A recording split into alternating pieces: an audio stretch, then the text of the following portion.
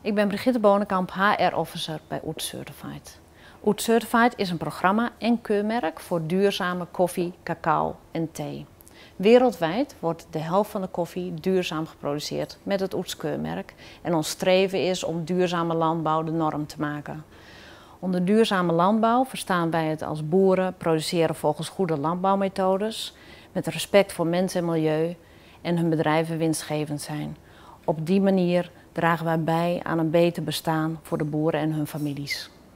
Sinds vier jaar maken wij gebruik van de diensten van direct payrolling.